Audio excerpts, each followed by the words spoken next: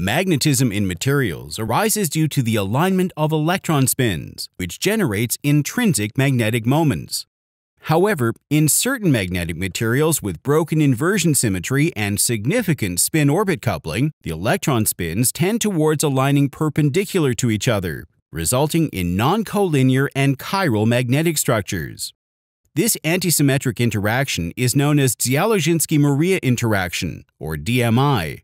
It has drawn wide interest across various research areas, including quantum spin systems, multiferroics, and spintronics. A special topics edition of the Journal of the Physical Society of Japan presents a collection of papers examining the magnetic properties resulting from DMI. Fert et al. discuss the research advances in DMI and its role in designing innovative magnetic devices in the field of modern spintronics.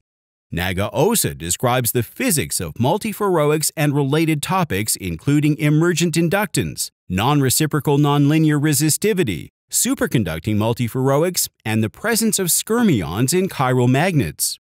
Ota elaborates on the dynamic aspects of DMI in quantum spin systems, focusing on its role in exotic quantum magnets with unique geometries like chains, Kagome lattices, and honeycomb structures. Mazurenko et al. offer insights into machine learning algorithms for characterizing magnetic skyrmions that originate from DMI, potentially benefiting near-term quantum computers. Mostovoy discusses the methods to manipulate magnetic topological defects, which may be useful for developing low-energy consumption memory and data processing devices. Togawa et al. explore how DMI is related to chirality in chiral crystals and examine its effects on the magnetic, electronic, spintronic, and phononic properties of these materials. Kammerbauer et al. discuss how DMI that emerges in various systems can be manipulated using electrical fields and currents. This may pave the way for the development of new devices based on the capacity to control DMI sign and strength.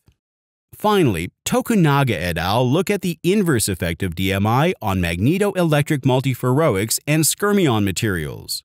They classify these materials based on their magnetic structure and also present examples of DMI phenomena such as nonlinear magnetoelectric effects and the formation of magnetic skyrmions. Collectively, these articles aim to advance our understanding of DMI or Dzyaloshinskii-Moriya interaction and pave the way for the development of next generation computing and electronic systems.